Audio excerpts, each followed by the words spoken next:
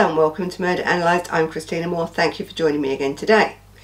Now, I hope you're all having a great day, um, as I am. So far, so good. So, before we start, just make sure you put the like, a thumbs up and all this sort of stuff and subscribe to the channel because I always forget to say it. So, thank you. If you have subscribed, it'd be really great if you could tell others to subscribe as well. I appreciate it very, very much. Now, today's case is another domestic abuse case of murder right? The, the, the girl was murdered in um, the 3rd of October 2010. This 21 year old girl was li literally kicked and punched to death in front of her two year old child. So, this is the case of this extremely upsetting case, actually, of Casey Brittle.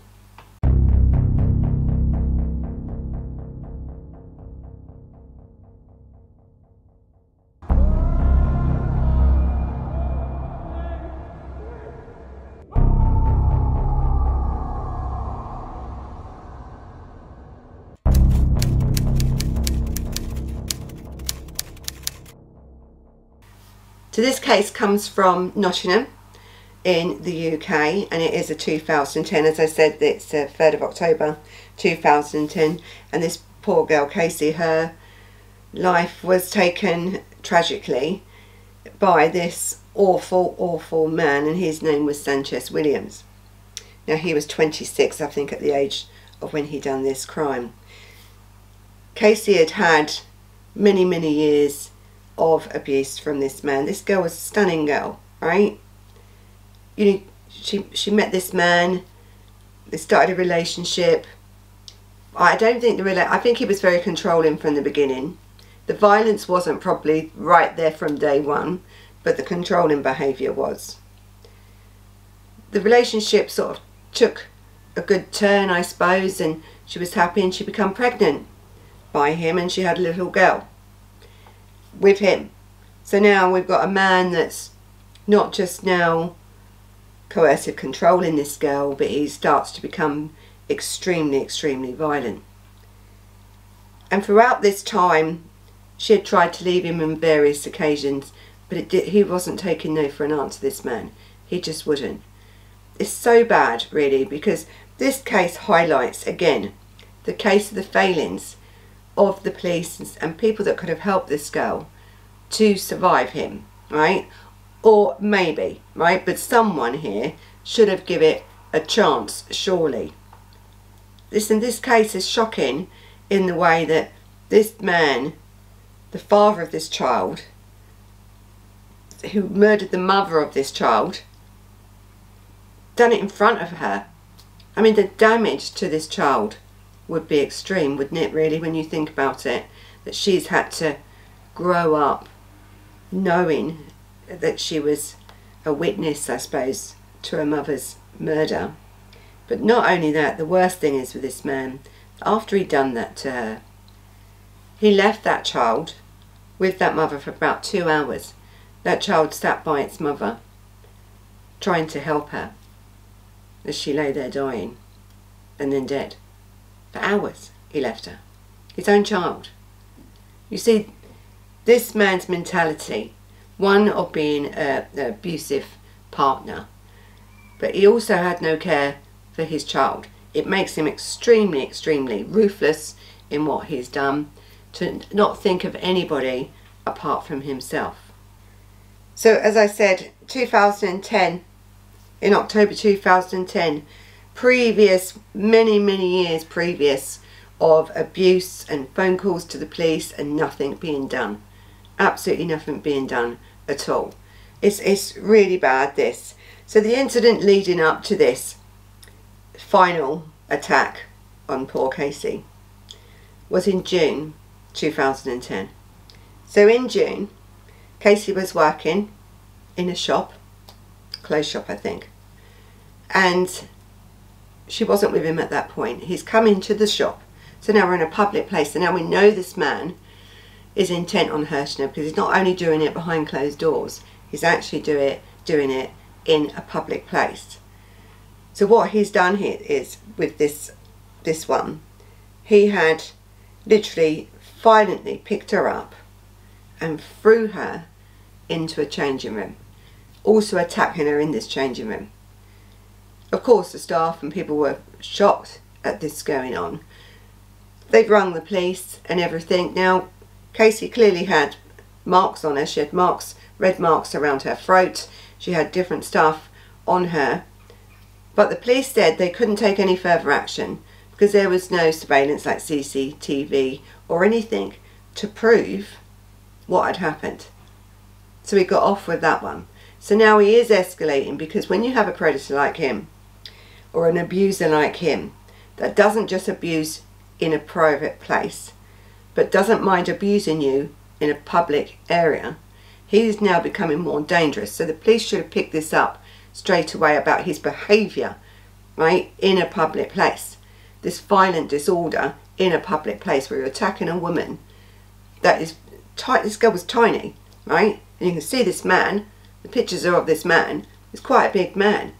For him to pick you up and throw you and start to try and strangle you, and the police say, sorry, there's no proof. and there's no CCTV to do it. It's your word against him, really. I don't suppose anyone else wants to come by and give any information when you have a man like this that's so willing to be violent in public. I think people would have been quite worried about this man. And I think at this point, Casey would have been extremely worried about this man. Now in August, so that's in June, so in August 2010, she sort of, I think she's not back with him, but she's on and off with him to try and keep it happy right? Because don't forget, he's abusing her when she is with him, and he's abusing her when she isn't with him, right? So this day in August 2010, they've gone out shopping. Again, public place. You're in a shopping centre, you're out and about in public. He headbutts her. He literally headbutts her like, like, like it's nothing. For me, it's so shocking that this man um, has been getting away with it, and that's just a few little things that I'm highlighting here. You can imagine what he was doing behind closed doors if he's doing this out in public. So I think at that point, he's headbutted her, he's thrown her into like a photo booth, you know, like in the shopping centres you have photo booths and, you know, it's like a little place where you go and you have your four photos taken and stuff. I mean, this man, at any point, I don't think she knew when it was coming or why it was coming or what happened. But he literally headbutted her, threw her in there, attacked her in there again. Of course the police were called again right? Because people are hearing this now. And again, no charges against him were laid that day because what they're saying is the police officer that attended was sort of naive, new at the job, didn't know really what he was doing. I mean, um, uh, I, I just think it's really, really bad, right? It's really, really bad that we, you've, you have, you're in a public place, you're being attacked, the police come or a police officer comes but their excuse why it didn't go any further was not because he didn't do that to you but because the officer was so inexperienced and probably I would say probably scared of this man um, that really nothing else then was done either. Before October 2010, so don't get this is August, after that incident where he headbutted her and pushed her into this photo booth and attacked her and the police let him off again because of their inexperience or an inexperienced officer. Um, there was nine other incidents like that and they were escalating, right? They were escalating. So let's now get to the 10th or the 3rd of October, sorry, 2010, where this last attack on Casey took place. So neighbours could hear what was going on with this girl and this man. They could also hear as he was kicking, punching, stomping on her head. The young two-year-old saying, I want my mummy. They knew now that the young girl had walked in and could see the attack happening to her mother and was screaming. The neighbours could hear it. It was two hours two hours after the end of that attack that the police finally turned up and things were reported. This child was in a room with the mother who was unconscious for two hours, absolutely beaten, beaten to death in front of her, screaming for her mother. I mean, this man, the mentality of this man is shocking, isn't it, really? So, Casey's murder, how she died under autopsy. She had been beaten to death. She had um, head injuries, severe head injuries. Her jaws, a jaw on both sides was broken. She had another 27 injuries to her body. 27 injuries. I mean, it's shocking, isn't it, really, when you think about it. When we talk about domestic abuse cases, and this is why I do so many of them, because it's about giving you the awareness, right, to understand whether you're with them or leave them, and in this case, whether you're in private or public, things can happen. And it's so difficult, and so that's why I don't, and I've had lots of different messages about it, about why people stay, why they don't stay.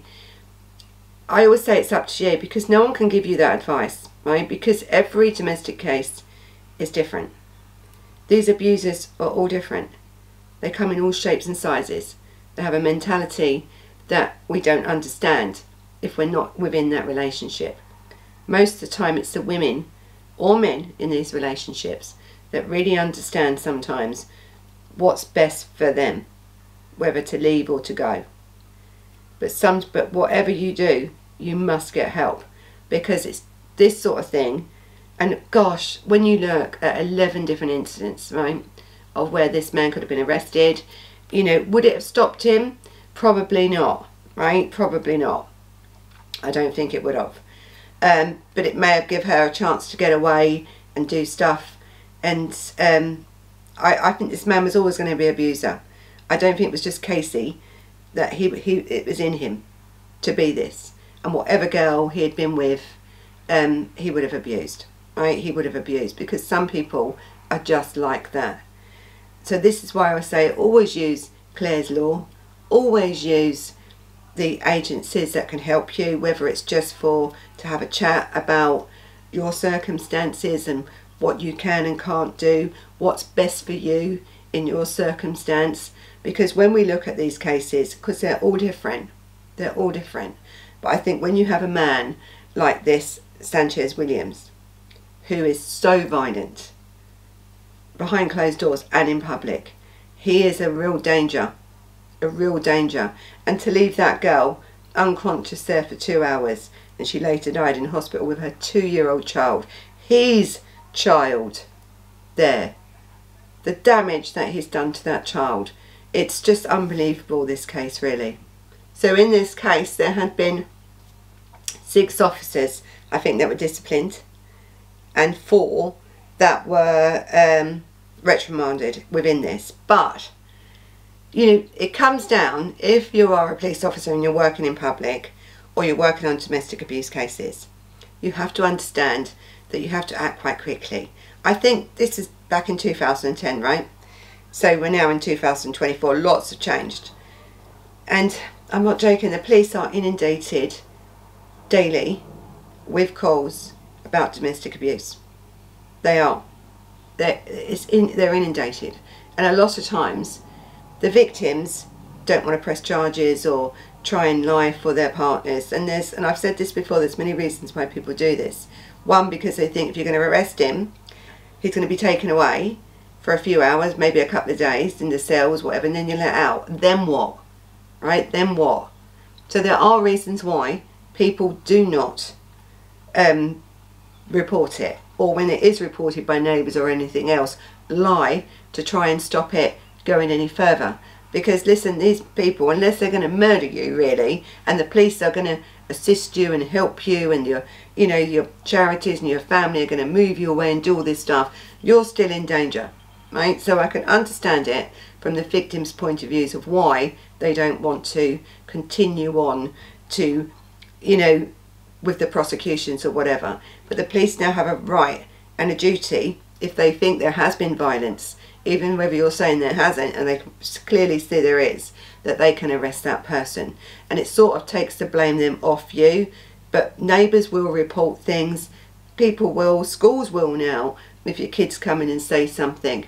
within um, the school. They have a duty as well to protect. So there's a lots of things within domestic violence that need to come out. But I think Casey's mum has said that the only person really responsible for her death was Sanchez Williams. He was. This man was so violent, such a nasty piece of work. Really, it was just it's just terrible what he did, and I have to agree with her. It, it you know the police can only do so much, right? Yes, there was clear foulings in this case, but it comes down to education. It comes down to educating the women or the victims, women or men, or and as educating in schools what is acceptable in our communities? What is acceptable? Why are these people so determined to hurt others in such a way? Especially when they're hurting the people they're supposed to love.